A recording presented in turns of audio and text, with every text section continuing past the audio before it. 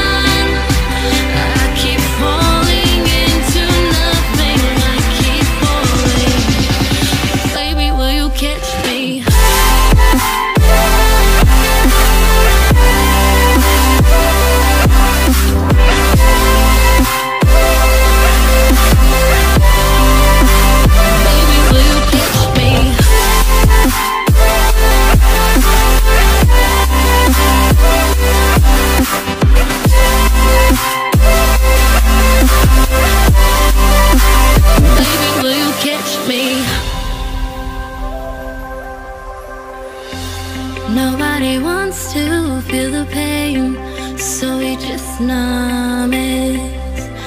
But we're all hurting just the same. What do we do?